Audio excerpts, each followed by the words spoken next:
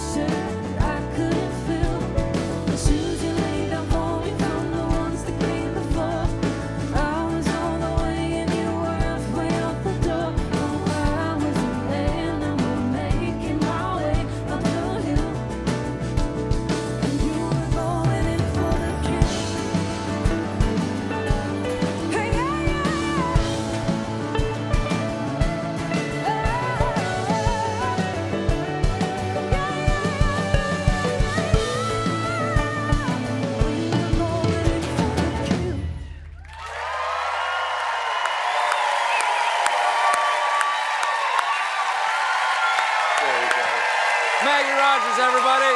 That's it for the late show. Good night.